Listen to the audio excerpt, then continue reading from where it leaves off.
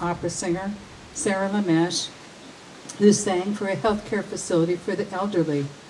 Her voice filled the hall, lifted the spirits of those present, and deeply affected one resident in particular.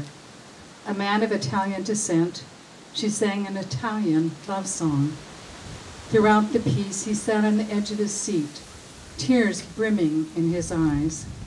When I introduced him at the show's end, he was grateful to have heard his native language sung with such eloquence and expressed his gratitude with a heavy accent.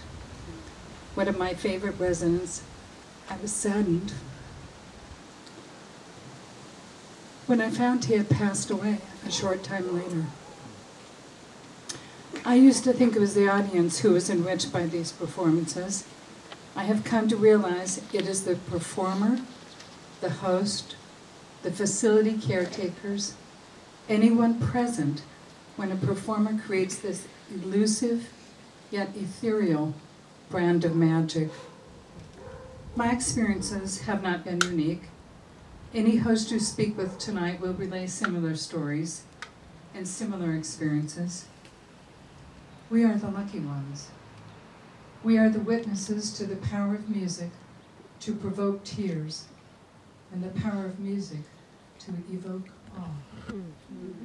Thank you, Bread Roses, for letting me be part of this. Thank you, Tracy.